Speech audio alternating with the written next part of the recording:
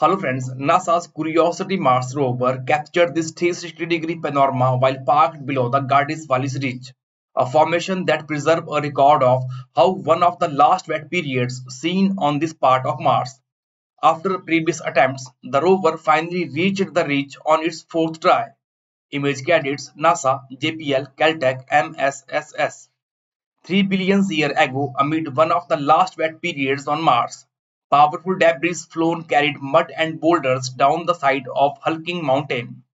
The debris spreaded into the fan that was later eroded by wind into a towering ridge, preserving an intriguing record of how the red planet's watery past. Preserving an intriguing record of the red planet's watery past.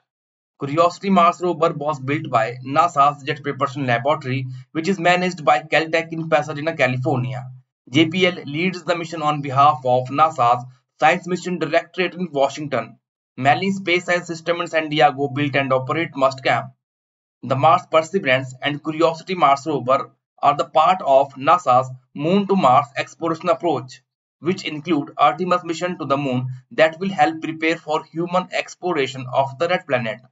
NASA's Jet Propulsion Laboratory, which is managed for the agency by Caltech in Pasadena, California, built and manages operation of the Perseverance and Curiosity rover.